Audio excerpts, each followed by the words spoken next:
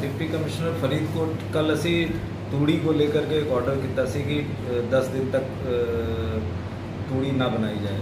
तो ये ऑर्डर ये करके किया कि कहीं आग लगने का खतरा ना हो।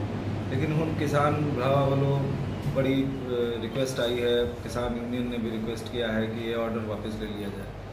और मैं ये ऑर्डर आज वापस ले ले रहा हूँ। आप तूड़ी बना सकते हैं अपने खेतों में जा कर के और एक घंटे के अंदर ये ऑर्डर इशू हो जाएगा।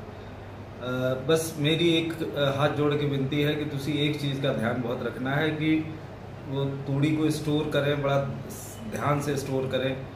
आग लगने का कोई भी जो चांस है, उसको मतलब ख़त्म कर देगी कहीं से भी आग ना लग जाएगी खड़ी फ़सल में आग लग जाएगी तो फिर उसको संभालना मेरे लिए मुश्किल हो जाएगा। मुझे याद है कि पिछली बार कड़क के टाइम में पाँच जगह आग लगी थी फरीदकोट में।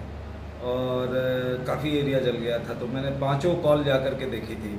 एक जगह हार्वेस्टर से आग लगी थी, एक जगह एक जगह हार्वेस्टर से लगी थी, एक जगह बिजली के तार की वजह से लगी थी और एक दो जगह तूड़ी की वजह से लगी थी कि तूड़ी का ढेर उन्होंने रख दिया, लापरवाही किसी ने की, किसी ने कुछ जलता हुआ कुछ फेंक दिया और उसके बाद उसने आग पकड़ ली। तो बस ये ऑर्डर तो मैं वापस ले रहा हूँ। बस किसान भाइयों से ये मेरी विनती है।